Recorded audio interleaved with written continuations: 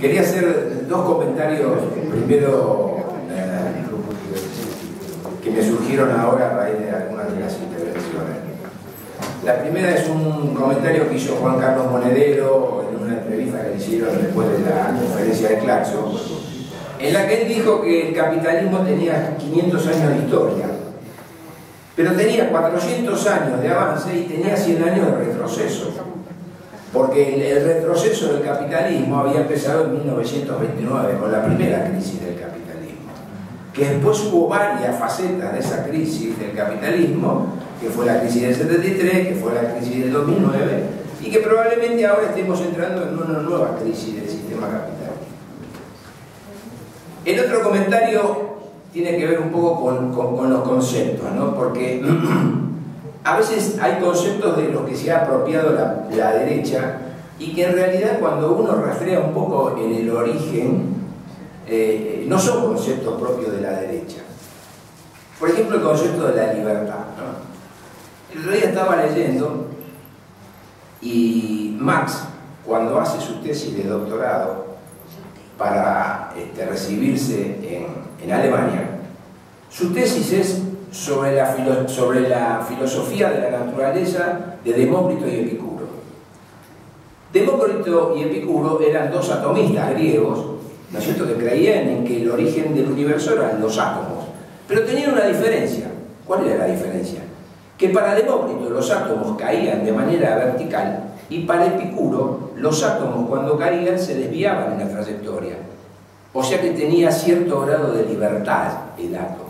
Bueno, Marx es partidario de esa física, de la física de Epicuro, o sea que en el marxismo, en el origen ya está presente esta idea de la libertad, ¿no? que hoy podemos hablar de, cierta incertidumbre, de cierta, eh, eh, vinculado con la física, digamos, ¿no? la física cuántica hoy de Heisenberg que habla de la incertidumbre, no se puede conocer eh, de manera simultánea la velocidad y la posición de una partícula, sino en términos de probabilidades.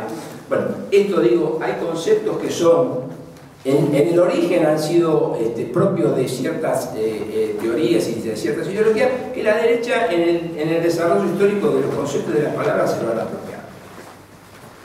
Bueno, vuelvo ahora un poquito a lo, terrenal. Todos habrán escuchado al ministro de Economía, Duhovne, que dijo hace 10 días que cualquier gobierno que hubiera hecho un programa de ajuste como el que este gobierno implementó, hubiera caído y claro, Duhovne lo dice después que había estado, digamos, de alguna manera este, eh, por el hecho de que el presupuesto había sido votado primero en diputados y luego en la Cámara de Senadores. O sea que estaba realmente con, bueno, con el ánimo muy alto para decir semejante cosa.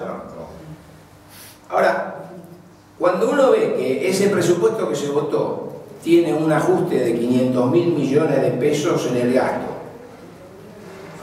cuando, como dice Cristina, en realidad no es una ley de presupuesto, sino que es un programa de déficit cero, porque en realidad lo único que apunta es a conseguir que eh, eh, el déficit del, Estado, el déficit primario, ¿no? porque bueno, no es el déficit, el resultado financiero que es el resultado debajo de la línea, que tiene un déficit de 3.2, porque si se computan los intereses ahí hay 600 mil millones de pesos, 600 mil millones de pesos que se van a pagar en concepto de intereses en el año 2019. Miren, estamos pagando 1.700 millones de pesos diarios en LELIC. 1.700 millones de pesos diarios en LELIC estamos pagando los argentinos. Y 1.700 millones de pesos es el déficit que tiene Aerolíneas en el presupuesto para el año que viene, 2019. Entonces, este presupuesto, que es un presupuesto del ajuste, que es un presupuesto que únicamente tiene como objetivo eh, eh, pagar los intereses de la, deuda, es un presupuesto que está mostrando los datos que se conocen semana a semana, ¿no? Se conoció la caída del producto 5, de la producción industrial, 5.8 en el mes de septiembre. La economía va a caer este año más de dos puntos el año que viene más de un punto y medio.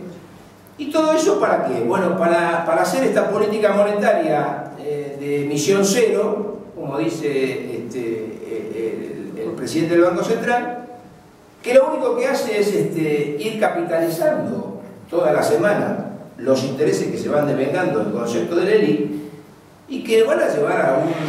Imagínense que eh, a una tasa que se capitaliza cada 7 días, una tasa del 72%, bueno ahora baja un poquito, 62, bajó 10 puntos, pero esa tasa capitalizada cada 7 días, el ajuste anual es más del 100%.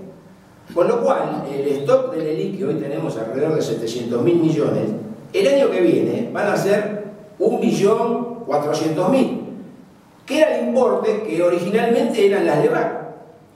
O sea, cuando empezó la, la, bola de las LEVAC, eran 1.400.000 millones de pesos lo que había en LEVAC. Y este jueguito, esta, esta encerrona en que está metida el gobierno, porque, bueno, vino lo que pasó esta semana con el dólar.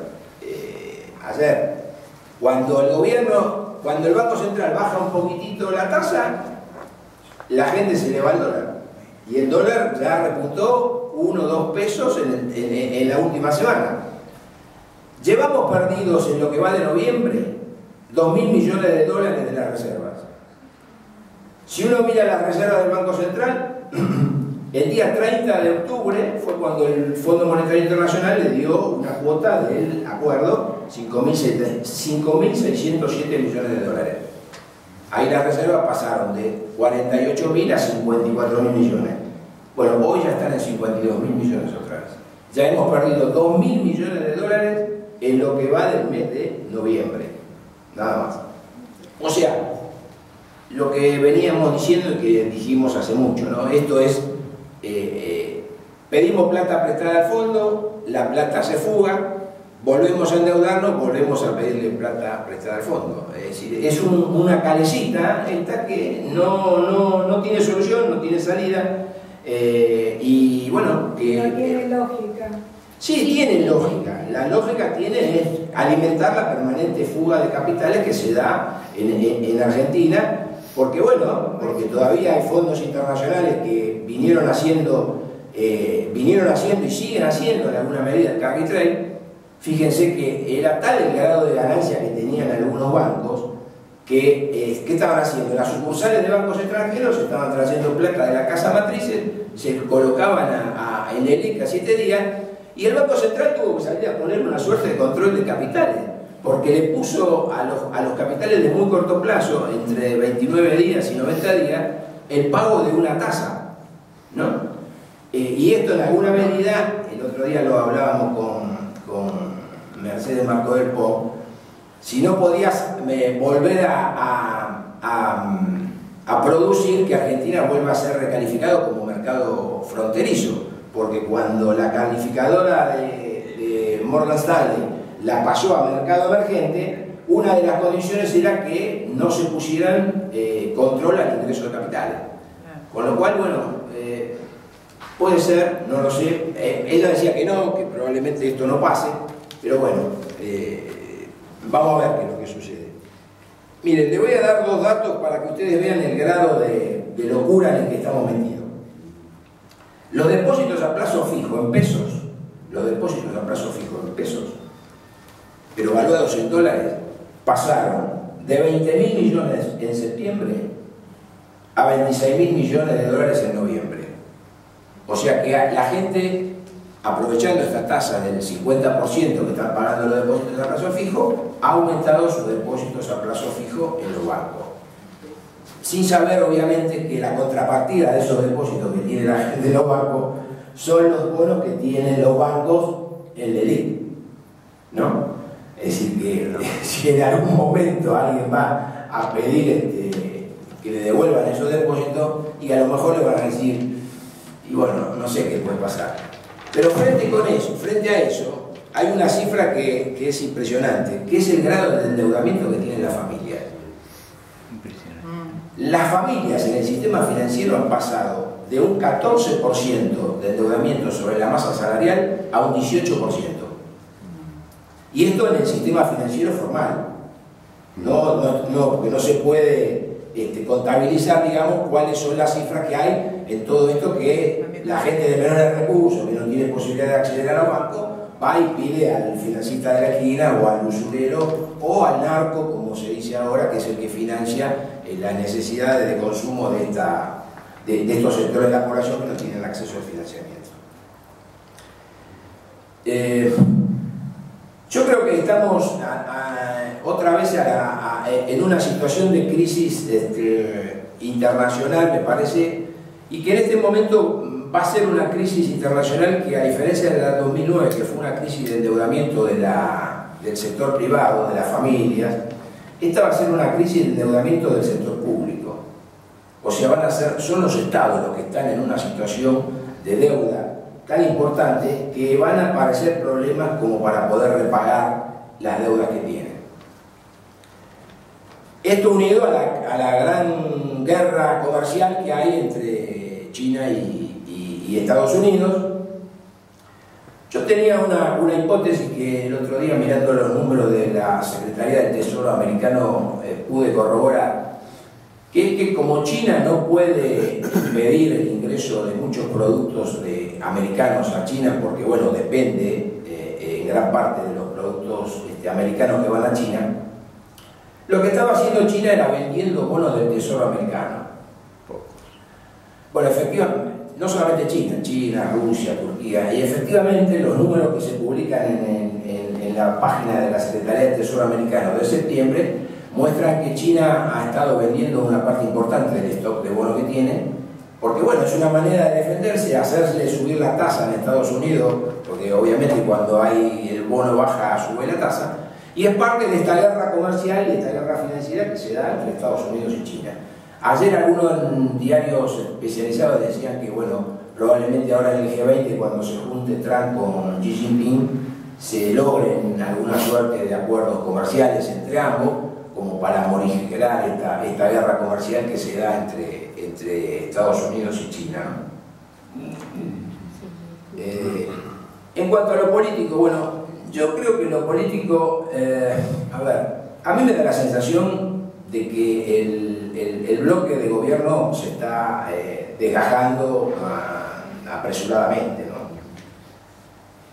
Todo esto que pasa en la Corte Suprema, donde bueno, de una mayoría de 3 a 2, ahora parece que pasaron a una minoría de 4 a 1, o de 1 a 4, mejor dicho, ¿no? Lo que pasó en el, Consejo de la Magistratura también me parece que es un, un, argumento.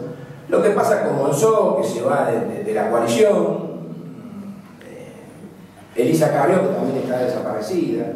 Es decir, me da la sensación de que el bloque de poder se viene desgajando de manera apresurada, de manera apresurada, lo cual no implica que este, eh, vaya a perder las elecciones en el 2019 o que no tenga la posibilidad de reconstituir el bloque económico hegemónico a través de otros, de otros actores, como puede ser Vidal, como puede ser este, Rodríguez Larreta. Pero tengo la sensación de que la debilidad que está demostrando el gobierno mm, cada día se acentúa más, ¿no? Cada día se acentúa más.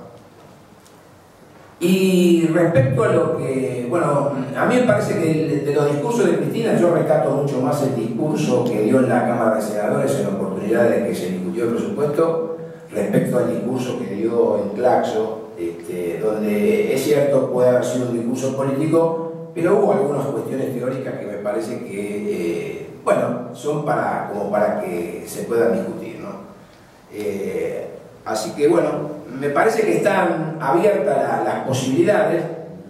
Eh, creo que hay, García Linera decía algo de esto el otro día, en, la condición humana hay sentimientos que, que están como en el sustrato de la condición humana y que lamentablemente los, los gobiernos progresistas de la, del, principio del siglo no han podido penetrar ese sustrato. ¿eh? Entre ellos está el, el, miedo, el egoísmo, eh, y que sobre la base del miedo y del egoísmo ahí se monta toda esta, esta, esta los fake news y esta permanente prédica para, para contar la subjetividad de los, de los sectores populares que terminan por, por pegarse un tiro en el pie votando este, experiencias que son decididamente desde el punto de vista económico contra sus intereses. ¿no?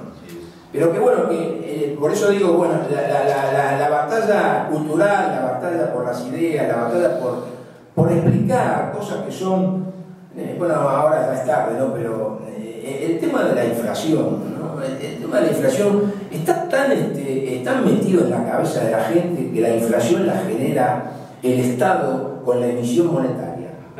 No, es tan, tan metido, tan metido en la cabeza esa idea que bueno, la inflación se genera por el déficit que tiene el Estado que lo obliga al Banco Central a financiarlo y entonces emitir dinero. Es muy sencillo. ¿Ustedes creen que los productos llegan a la circulación, es decir, en el momento en que se venden y se compran, con precio o sin precio? No. Claro. En la economía hay dos Dos instancias. Está la instancia de la producción, está la instancia de la circulación. Bueno, según la teoría que dice que la inflación se genera por la emisión, quiere decir que los artículos de la producción llegan a la circulación sin precio, ahí se encuentran con la cantidad de moneda y entonces ahí se fijan los precios. ¿Ustedes creen realmente esto? No, no es así. Bueno, no es así. Entonces, eh, el orden de causalidad está invertido. ¿No es cierto? No es que la moneda genera los precios, no los precios de los productos se fijan en la producción, llegan a la circulación con un precio y ahí hace falta la cantidad de moneda necesaria como para que los productos circulan, se puedan vender al revés.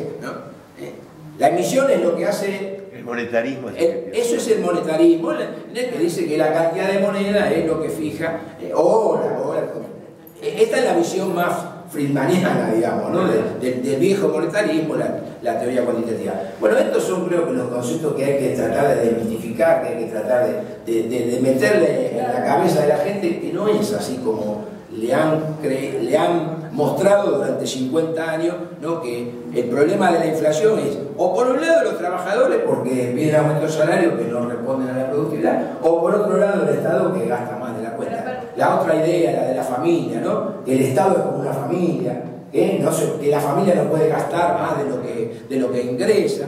El Estado recauda impuestos, emite moneda, entonces no, no, se puede comparar de una manera así tan, tan bruta, tan muda, un Estado con una familia. Muchas gracias.